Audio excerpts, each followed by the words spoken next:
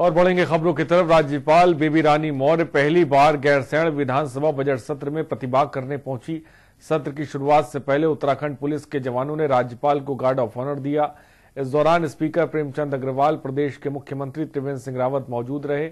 गैरसैण में विधानसभा सत्र को लेकर मुख्यमंत्री त्रिवेंद्र सिंह रावत ने कहा कि सत्र के लिए सभी तैयारियाँ पूरी कर ली गई हैं।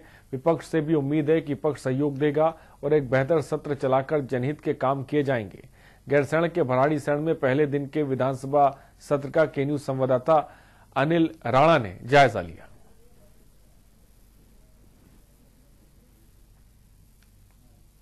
अभी हम मौजूद हैं उत्तराखंड की विधानसभा पहाड़ी विधानसभा क्षेत्र के भराड़ी सैन में। यहाँ पे राज्यपाल के अभिभाषण के साथ विधानसभा की शुरुआत हो चुकी है और कल बजट सत्र की यहाँ पे शुरुआत की जाएगी।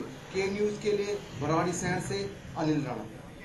माताएँ कहने लग गई हैं कि जब हम उस खेती को करके क्या करेंगे जब हमको बीज के लिए अनाज नहीं बचना है तो ऐसे समय में सरकार के पास कोई सोल्यूशन नहीं है। तो विपक्ष की भूमिका निभाते हुए सरकार ये जो कांग्रेस पार्टी ने आज विधायक कांग्रेस विधायक दल ने सदन में महामहिम राज्यपाल के अभिभाषण का पूरा विरोध किया। उसके पास सिवाय झूठे आरोपों के और कुछ भी नहीं रह गया है।